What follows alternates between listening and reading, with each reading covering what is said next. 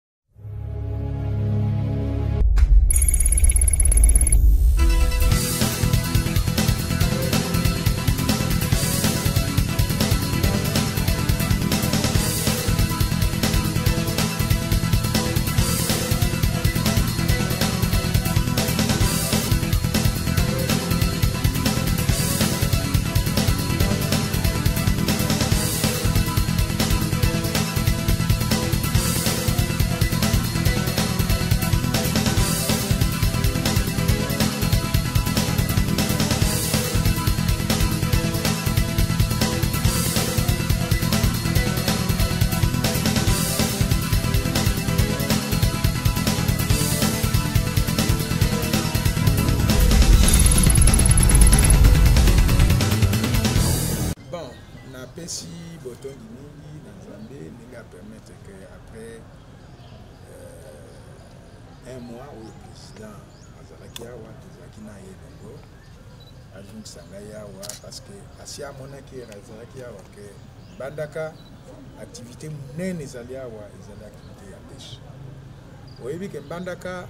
ezoproduit mbisi mpo na mbandaka mais ezoproduit mpe mbisi mpo na kinshasa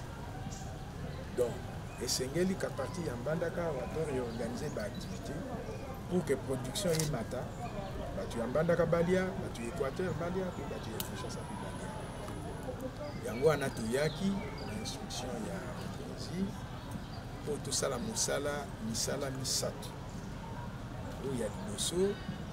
toyeba bapêcheur wana eza banani parce que bapêcheur basorganisa na baassociation baassociation wana eza nini toyeba bango toidentifie bango omosala mibale ezali totala esika nini tokotongela bapecheur port na bango port oyo pecheur ayebi ka parti ya wana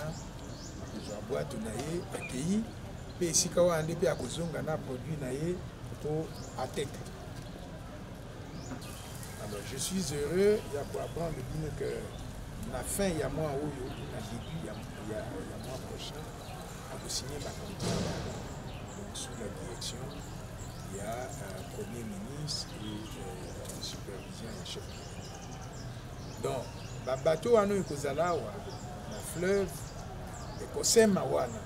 troisième et dernier point oyo nayeli awa ezali baassociation wana il faut kosunga bango baza na difficulté epo kosunga bango eza nini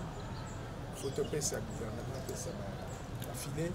epesa bamaison bandobo epesa mwa bagroupe électrogène na ndako oyo toyaki na yango epesa mwa biloko mosusu oyo ekopermettre que bapêcheur